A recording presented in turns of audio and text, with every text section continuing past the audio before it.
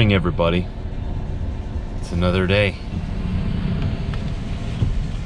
And look, my window rolls down today. Bonus. Yesterday it was frozen shut. Every good day starts with Timmy's. Hi there, may I get a please? Could I have a sausage farmer's wrap and a hash brown and a medium coffee with one cream, please? Sounds. And was there anything else I can get for you today? That's it. Sounds good. Your sausage farmer wrap meal will be seven fifty at the window, please. Super duper. Thank you very much for the Tim card that was sent to us by one of our friends out west. It has been received and it is being used in a super duper way for a super duper coffee.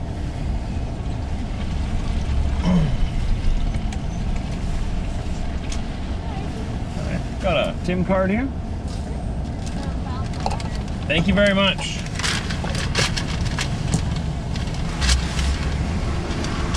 Later, Gator.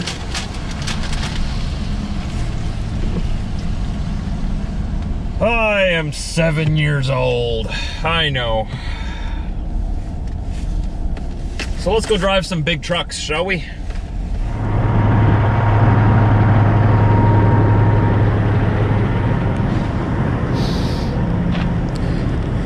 Go around, make sure all the lights are working. It's always a bonus. Make sure the tires are filled with air.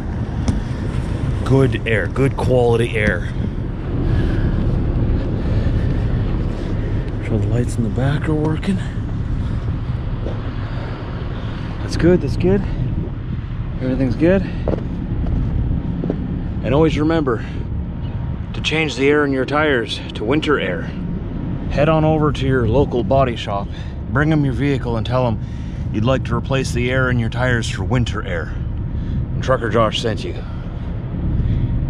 And then let me know what they say. So we're off to Headingley, Manitoba. Way on the west side of Winnipeg there. I remembered my head strap today.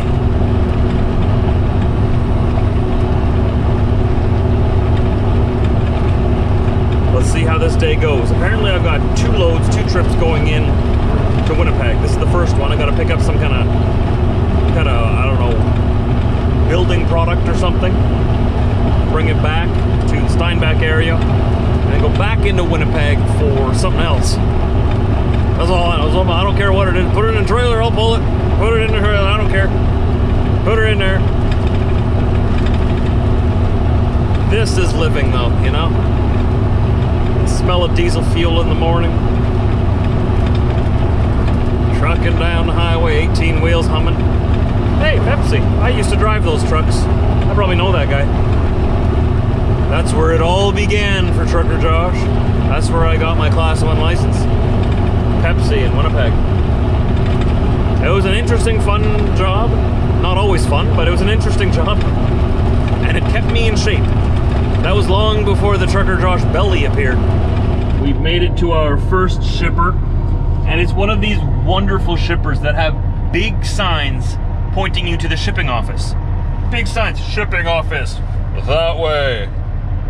You have no idea how much I appreciate that. Because sometimes you go to shippers and you've, I don't know, that looks like a shipping office. That looks like a shipping office. Let's go over here. No, it's over there? Okay, so you go over there. No, it's not here, it's over there. Oh, it's over there. You don't know where the shipping office is and you waste all this time running around looking for them. Most of them are labeled pretty well, but uh, this one just had like big, big, ginormous signs pointing me in the right direction. And it's a new building too, so I didn't know. It's in the front, back, side thank you if you put those signs up. The truck drivers really appreciate it. It's early. Sometimes I just like a big arrow to point me in the right direction. It just makes my life easier. Shall we go take a look and see what they put in the box? I have no idea what it is. Let's see. It shouldn't be the whole thing. Huh. Would you look at that? A little over half of the trailer.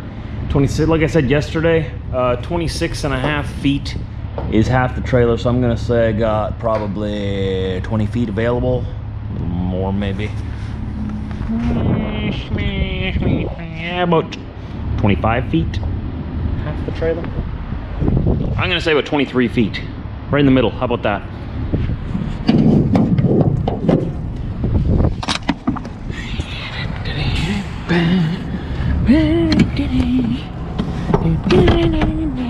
Oh, top one doesn't want to hook in. There we go. All hooked in, ready to rock. So this stuff's actually going to Blumenort, uh, close to Steinbach. I'm pretty sure they're gonna want me to put something else in there yet too, so I'll have to radio in. Off to Oak Bluff we go. That's on the west side of the city as well, just a little further south down the perimeter. We'll pick up a few pieces there, and then we'll uh, deliver this trailer, and then I come back into Winnipeg for round two. It's kind of fun buzzing around, pickup and delivery. Something different every day, right? And it's not just the highway all day. It's getting in and out of the truck, talking to people. So far, I'm enjoying it. Now, you put me in a truck, give me some diesel fuel, and I'm a happy man. I'm pretty easy to please. I think I want to go that way. Oh, I'm gonna go this way.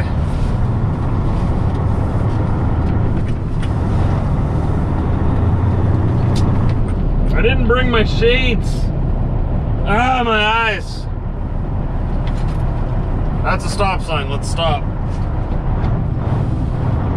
Oh boy, I'm gonna regret that. But I'm not going to buy another pair. I already have two pairs. That's enough. I got one for the pickup and I got one for work. Actually, no, I have that pair in Brits, well, in the terrain.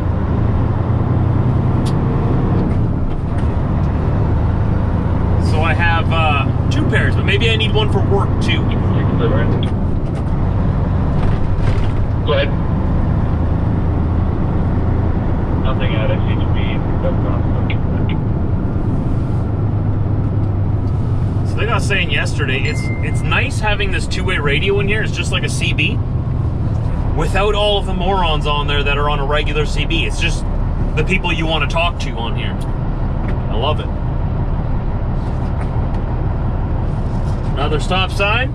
Successful stop.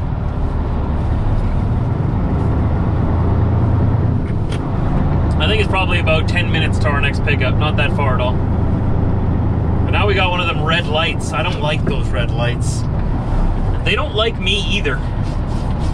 They're always staring at me, judging me, wasting my time. Look at them over there. Look at them, just judging me. They don't think I'm worthy to move. They don't think I'm important enough. It's coffee time. Not gonna pass by the Flying Hook without stopping for a bean to cup. I've missed that. I mean, Timmy's is good. It's better actually, but uh, I haven't had very many of their bean to cup coffees lately, and the one I had yesterday was refreshing to say the least. It's coffee time. All I did was pick up two pallets here. But off to Blumenschnort we go. Bring those two pallets there, and then I got another one in another one in Blumenort. Actually, the whole trailer's going to Blumenort, just two different places. And then they're sending me back into Winnipeg after that. Just barely made that corner. Oh yeah. This truck is very noisy on the highway. This window up here, or the door, I don't know what it is, doesn't seal quite right. It's so noisy. But that's okay. She still drives. The interior definitely needs a good cleaning. Like, definitely. Badly. But uh, I'm just going to be here a short while. But if this would be my permanent truck, I would definitely be spending a lot of time wiping this thing down because it's a little gross. but whatever. Doesn't bother some people. If it's not your permanent truck, I guess, yeah. But the place I'm going for a road test on uh, next week, if everything goes good and all the stars align like they're supposed to on the 21st, have you heard of that? The Christmas star is coming. If they all align like we are told they will, everything goes right, I'll have my own truck that's assigned to me so I can keep it nice and clean up to my standards.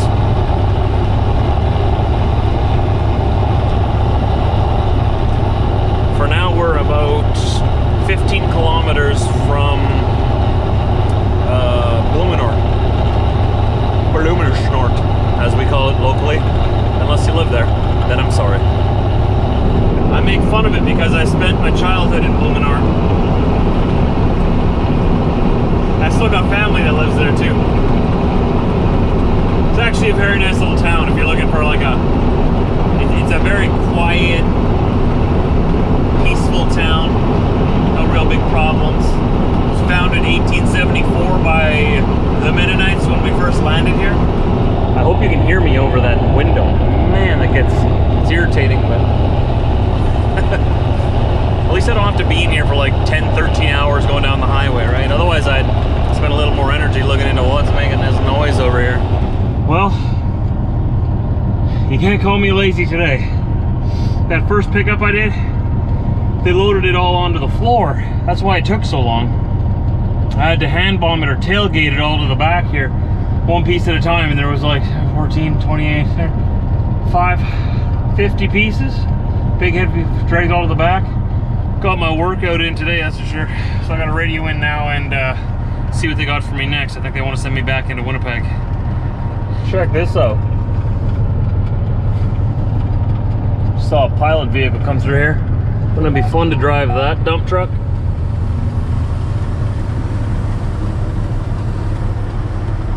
Now all I gotta do is wash my windows so I can actually see. We're about to turn on to Dugald's Road here, or as my GPS calls it, Juggled. Juggled Road. Got a whole load to pick up. Going down to Landmark. Supposed to be a full load on this one. What's the time now? The time is 2 o'clock. By the time I get loaded, probably 2.30. Down to Landmark for 3.15-ish. 3, 3.15-ish, 3.30. I should make it. It shouldn't be a problem. I seriously just waited what felt like 10 minutes for a green light. The green light, the turning arrow, stayed on for exactly three blinks and then went yellow and red. One pickup truck made it through. Intersection of Dugald and Lagimodiere. Any of you guys traveling in this local area notice that? It's the second time I've seen. Like, it'll barely give me enough time to get going here. I gotta be ready. Put her in gear. As soon as that light, no, I'm gonna have to wait a while now because they have to go. They have to go. Now these guys got the green light beside me, and then they'll get the red light, and then the green light will turn on for all the people going across the street now, and then my green light will turn on for exactly three blinks and then turn yellow. That's gotta be a glitch. That can't they can't be serious about that. This is a major intersection where a lot of trucks make a corner. Where are we going? We gotta, uh, gotta turn right. Turn right.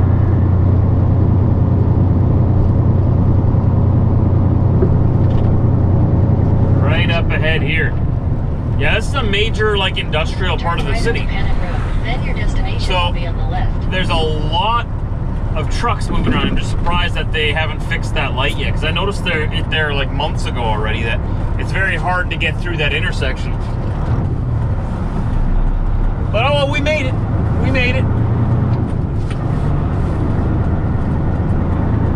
You just got to be ready to go. Foot on the clutch, truck in gear, ready to give her.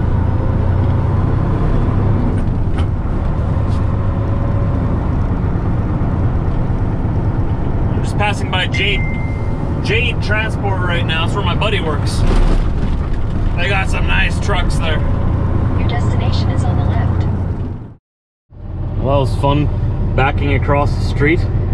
This is some random industrial road going through the industrial zone here. But apparently, it's very busy. I think they need another one. But we made it. You can see our tracks there. Let's go get ourselves loaded and let's head to Landmark. City traffic.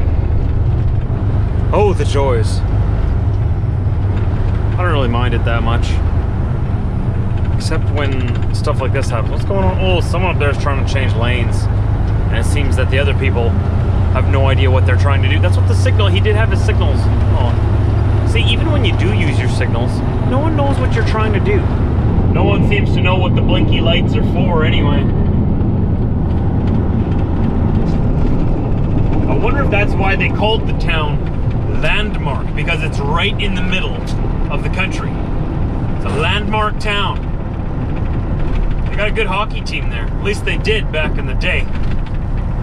I played nine years there, I think. Or was it nine years altogether that I played? That was a many seasons that I played hockey there, minor hockey. Oh man, the best memories.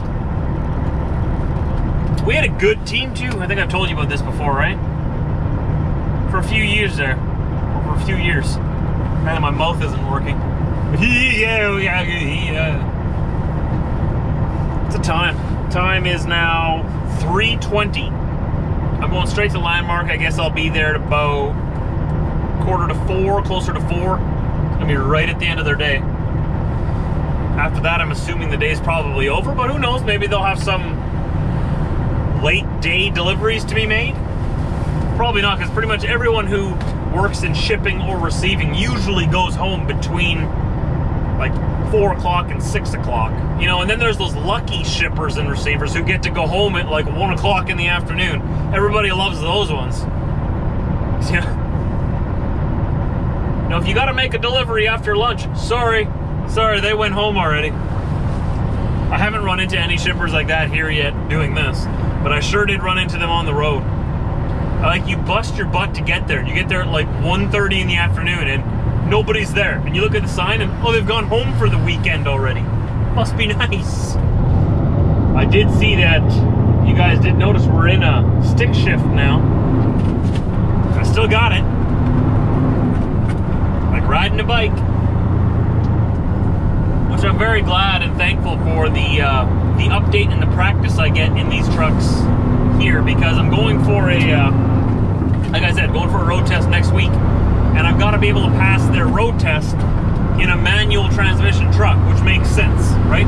Everyone should be doing that. So I got to brush up on it a little bit here and sort of boost my confidence a little bit and let myself know I still got it. I shouldn't have to worry about next week. Nice and straight. They're unloading me right now. This trailer's got these fancy drop steps that you can use to get into the trailer easier, but somebody bent it. Wasn't me. Not that this was a tight spot to get into at all. We got a huge yard. And I was the only one here. And I got here at quarter to four and their shipping and receiving closes at four. And believe me, the look I got when I walked in there and told them I had a whole load for them, said it all. they close in 15 minutes. Weren't the happiest to see me, but it is what it is. Got here as fast as I could. All right, let's head out here, put some fuel in her. We're losing daylight hours here, and trailer's now empty, which means we got to make sure the tanks are full and head on back. Itty bitty tanks. Oh, he's so thirsty. So thirsty. It's been a good day though. Been a good day. Sand. No sleeper. Really enjoyed myself. I like this buzzing around. Gives me a sense of purpose, you know, like I have a, a, a something to do, something to a, a reason for living. A little bit dramatic, but I love trucks. So what I found is that though I don't necessarily need to drive because I have other income streams, I want to. And by that, I found that I need something to do every day. I need a task. I'm very busy minded, busybody, whatever you want to call it. I always have to have something to do. I have to have a purpose, you know? It's good to have structure in your life. So if there's no structure, it's sort of like you're you're almost in limbo wondering, well, what am I supposed to be doing? Because we all have this inside of us. We all know we're, we have a purpose that we're supposed to be doing something and contributing, right? So, with being home and working from home, I found that uh, the lack of structure, I guess, really bothered me. I want to have somewhere to be. I want to go out and uh, physically accomplish something. Like in this case, bringing stuff from here that someone needs over there. Being a part of that process and helping somebody out, it really. Like, I mean, you can make enough money and have great careers from home, but it's also nice to get out of the house and do something out of the house because if you're constantly cooped up in the house, it becomes repetitive. It's also very hard to find new things for content every day when you're just at home. All right, speaking of home, let's go see what's for supper. I'm excited.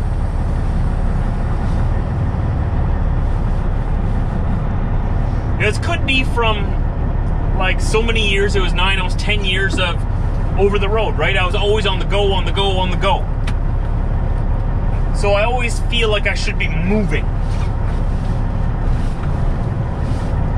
And when I'm not moving, I feel like I'm being unproductive, even if I am being productive.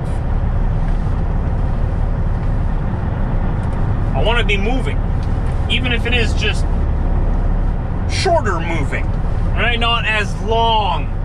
I need to be going out doing something different every day. I could never do a desk job. Never.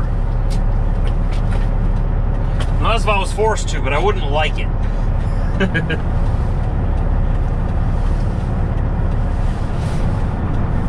I like to change it up every day and see new scenery every day and have different tasks to do every day. So that it's not repetitive, right? Got structure, but nothing repetitive. Does that make sense?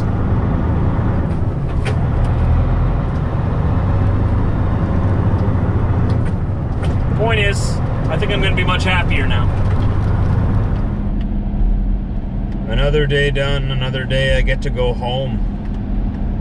What a great feeling. You know, I don't think I'll ever get tired of this. Really good guys where I'm working at right now, too. I like it. I enjoyed myself. The last two days, had a lot of fun. Easygoing guys. Not the kind of people that breathe down your neck all day. Give you something to do. You go do it, everybody's happy, right? I like it. You know, I am gonna go for this. Uh, check out this other full-time position that I'm uh, going for a road test for next week. But you know, if I didn't have that opportunity in front of me, I'd probably be begging these guys for a full-time position there. I like it there. I wouldn't mind staying there, but you know, I have this other opportunity that's uh, I think is a little bit well, it's a, it's a good fit for me.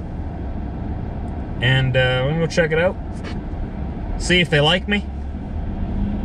I mean, I'm a pretty quiet, easygoing guy, so takes me a little while to warm up to people, especially the people I haven't met before. You know, I usually, like I've said before in past videos, I sit and watch. I'll watch people, get to know their personality a little bit, and then I'll go engage in conversation and. Uh, I sort of know, feel like I know who I'm talking to a little bit more then, but That's just me. Everybody's different. My wife is totally different. She is she is a social bug. Loves to talk. In a good way. She makes friends everywhere she goes. I have more friends now because of her. Because as they say, you know, my wife has many friends, and her friends have husbands. Therefore, I have many friends. She's way better at socializing than me. I'm a little, I'll just be, I'll just quietly do my job, I'll do my work the best I can, and then I'll go home. Usually, right? But that's one of the things I guess that, uh, one of the reasons I married her too, is she's, her and her dad both have this ability. They can make you feel like you're the center of the world while they're talking to you. They're very good at focusing in on what you're saying, what you mean, and have like a great comeback all the time and a great conversation all the time. There's never dead air. They're just really good social people. It must be a family thing. Her mom is the same way. hey guys. Jesus. Diesel. I'm excited. I'm gonna go pee.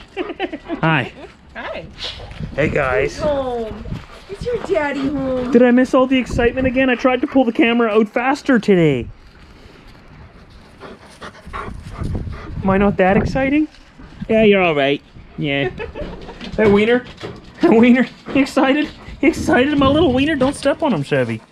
Hey, look at him. I gotta protect you from Chevy. No, you're gonna go that way? Okay. He's gonna go right underneath him.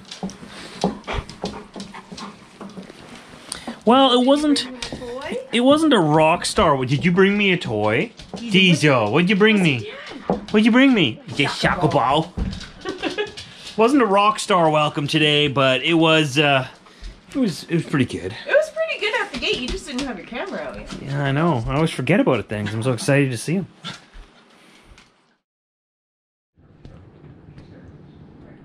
Well, Chev, you want to end the vlog? You want to end it? Should I get Diesel to do it? Diesel. Diesel. No? He must be really tired over there. You see little Frank? Frankie! Frankie, you come end it then. Come on. Come here.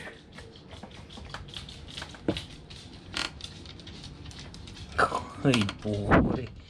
Gonna end the vlog? Well, now Diesel comes. Sure, yeah, now that he's jealous. Right?